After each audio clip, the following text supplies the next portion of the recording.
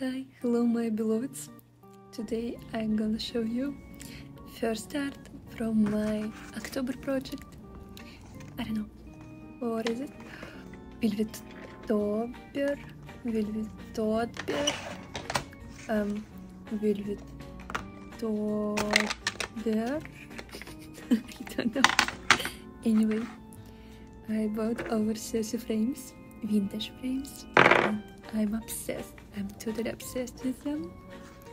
I wanna draw more than 30 art in this month, so I'm very excited. Also, Halloween, my favorite holiday ever. And I hope you will enjoy this content in my Instagram or YouTube or Patreon.